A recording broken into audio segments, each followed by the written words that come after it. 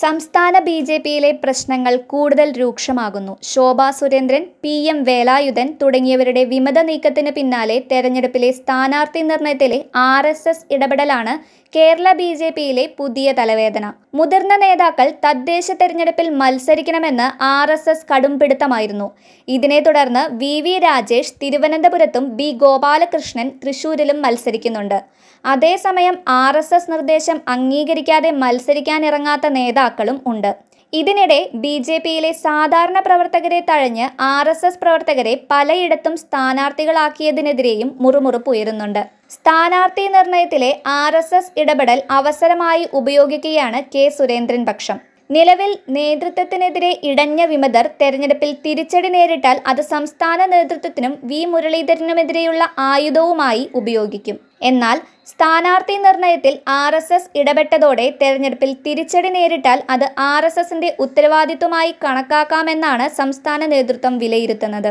അതേസമയം തദ്ദേശ തെരഞ്ഞെടുപ്പിൽ മുഖ്യ മത്സരം ബി ജെ പിയും സി പി ഐ എമ്മും തമ്മിലായിരുന്നു ബി ജെ പി സംസ്ഥാന അധ്യക്ഷൻ കെ സുരേന്ദ്രൻ പറഞ്ഞത്. എന്നാൽ സംസ്ഥാന അധ്യക്ഷന്റെ സ്വന്തം ജില്ലയിൽ പോലും മുഴുവൻ സീറ്റിലേക്കും ബി ജെ പിക്ക് സ്ഥാനാർത്ഥികളെ കണ്ടെത്താൻ കഴിഞ്ഞിട്ടില്ല.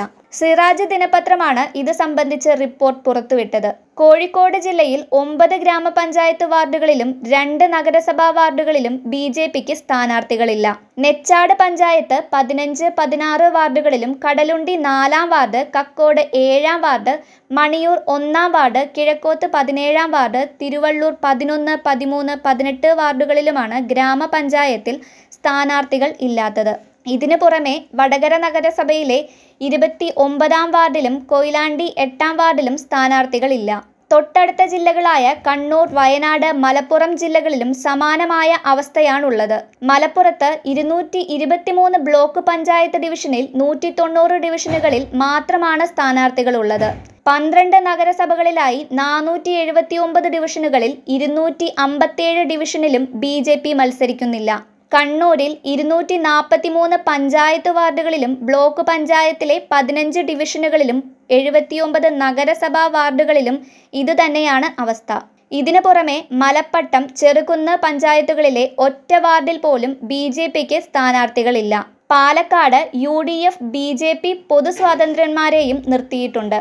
ഇതിനു പുറമെ കാസർഗോഡ് പഞ്ചായത്ത് തെരഞ്ഞെടുപ്പിൽ Congress League B J P സഖ്യമാണെന്നാരോപിച്ച് Kasaragod Panathady പഞ്ചായത്തിലെ കോൺഗ്രസ് നേതാക്കൾ രാജിവെച്ചിരുന്നു. പഞ്ചായത്തിൽ ആകെ പതിനഞ്ച് വാർഡുകളാണുള്ളത്.